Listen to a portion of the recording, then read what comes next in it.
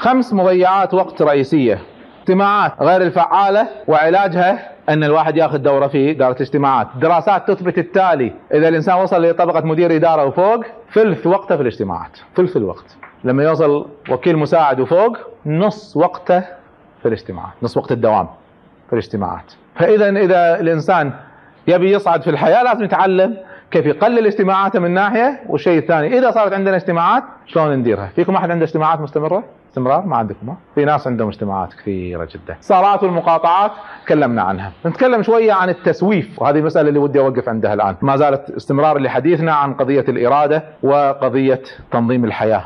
تسويف هي تأجيل الأعمال. ليش الناس تأجل الشغل؟ عندي شغلة لازم أسويها باكر اجلها ما أخلصها. ليش؟ ففي كتاب جميل جدا للأسف غير مترجم اسمه 40 reasons for procrastination procrastination تسويف 40 سبب للتسويف. من الأسباب اللي يذكرها صاحب هذا الكتاب؟ الناس تعذر بأعذار عجيبة جدا عشان تأخر الشغل. والله اليوم الجو يضيق الخلق. جو اليوم تعيس. ما هو جو شغل. فيقوم يأجل الشغل. ثاني يوم الجو حلو. والله اليوم جو حلو. مال طلعة مو مال شغل.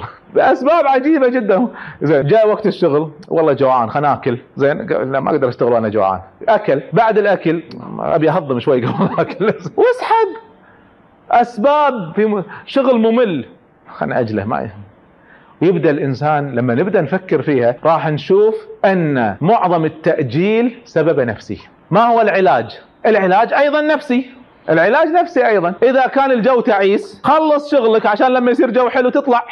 عدل وإذا كان أنت جوعان خلص شغلك عشان تاكل وترتاح مرة واحدة. طبعا هو لما واحد يفكر فيها في النهاية كلها قضية إرادة. إرادة أن الإنسان يقرر. يقوم الإنسان أحيانا الصبح يحس أنه هو كسلان. ما له خلق يشتغل ويحس أنه تعبان. طيب شو الحل؟ الحل يقرر أنه يصير نشيط. أنا اليوم بخلص شغلي وبخلص برتاح و... سبحان الله لقوا إن القرار بيد الإنسان. سووا دراسة جدا لطيفة على الذين وقفوا عن التدخين. بعض الناس يقول أنا ودي أوقف عن التدخين بس ماني قادر. فسووا دراسة عن اللي وقفوا وقدروا. في دراسات كثيرة على المدخنين. هذه دراسة فريدة عن اللي وقفوا عن التدخين. كيف وقفوا عن التدخين؟ فلقوا درسوا حياتهم ودرسوا إيش سووا في طريقة توقيف سجاير بدون نيكوتين واللزقة وكذا. كل لقوا كله كلام فاضي ما له داعي. وإن اللي وقف عن التدخين قرر يوقف عن التدخين. إرادة. فإذا قضية التأجيل والتسويف هي قرار. قضية التلفزيون. في بعض الناس يصير عندهم إدمان. إنترنت ولا تلفزيون ولا كذا. شنو علاجها؟ أيضا إرادة. أيضا قرار. طبعا في علاج ثاني خاصة إذا كان عندكم أولاد ولا مه... يعني ناس تبي تربونهم توجهونهم.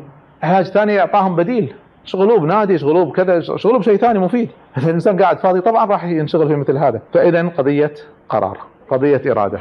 فخلينا نعرف إيش قاعد نسوي. خلينا ندرس تصرفاتنا خلينا ندرس قراراتنا خلينا ندرس مواقفنا. هذا المسج اللي أنا قاعد أحاول أوصله. عدم حمل نقود كافية. كل شوية مخلصة فلوس يا أخي لما تسحب فلوس اسحب كمية مرة واحدة. يسحب له 20 20 كل شوي بتخلص زين؟ فصاحب صاحب يسحب لك شوية خلها خلها بالتجوري بالبيت مو شرط تجي هو يقول والله حطيتها بجيبي انصرفت. حطها في البيت مو شرط كل شوية رايح البنك لأن صح تأخذ 10 دقائق لكن 10 دقائق مني وربع ساعة مني هذا اللي وين الوقت قاعد يضيع. عدم وجود مفاتيح احتياط.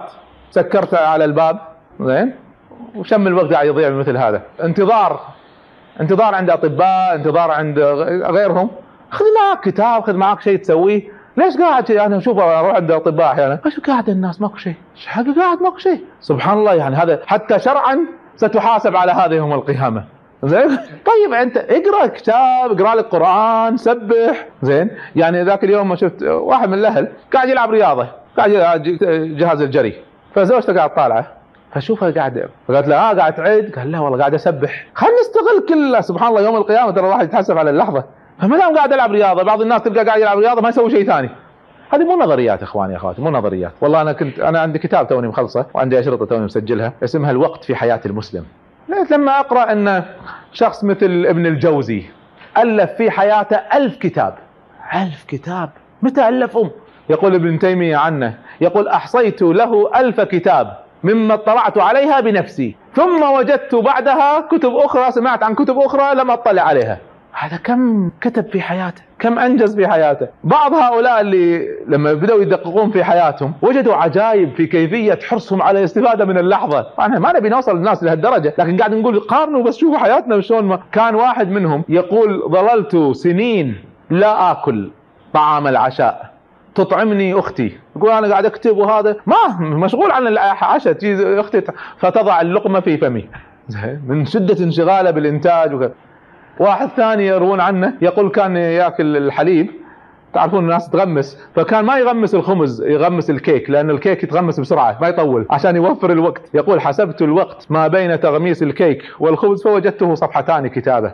تصوروا الناس شلون بالنسبة لهم وقتهم ثمين. قارنوا هذا بالوقت اللي قاعد يضيع. خاصة شباب هذا الوقت استهتار وتسكع في الأسواق وتسكع في كذا. هذا الفرق. يوم القيامة طبعا يبين حيل الفرق هذا لكن أيضا في الدنيا يبين.